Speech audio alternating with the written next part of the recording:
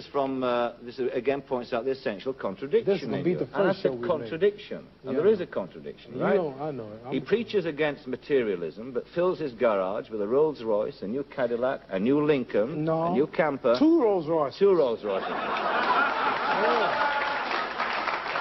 Now, now, that- I'll that- tell you another thing. Now, I wish he was here, the man who wrote it.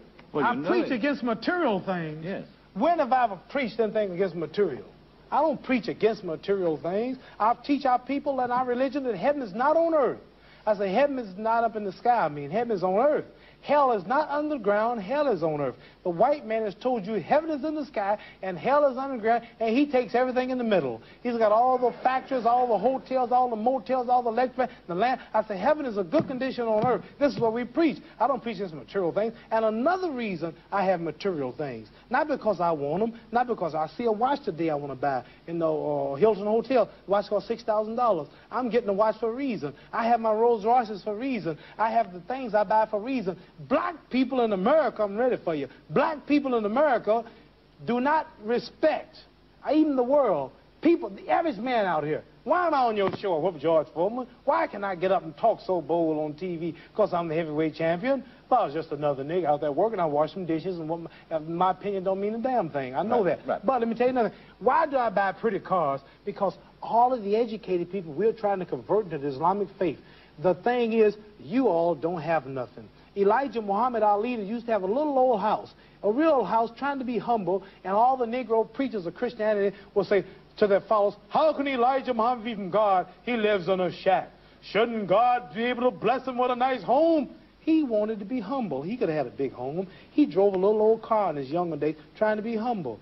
But they think you don't have nothing. People don't respect you when you look like you don't have no money. So I got to buy diamonds. I got to be the heavyweight champion. I got to have a Rolls Royce. So when I pull up to that other black man with a Rolls Royce, hey, my brother, come on down to the Muslim temple today. I want you to hear the sermon of Allah. Uh, he, it was a pretty car.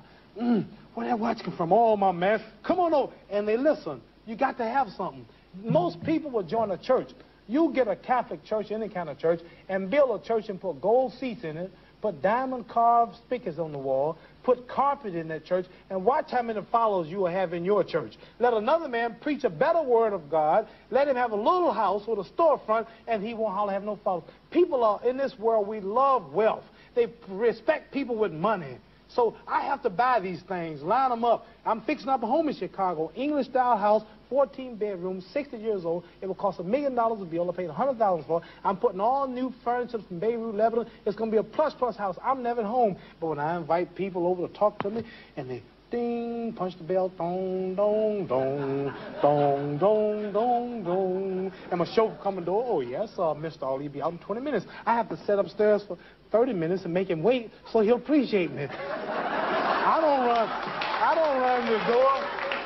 I don't run right to the door and answer him. You go to meet Queen of England, I bet you. You don't walk right in and meet the Queen. You sit there for a while, and they take you to this room, and you sit there. Queen's probably sitting there watching the news. make you wait. Make you think about what you're going to do.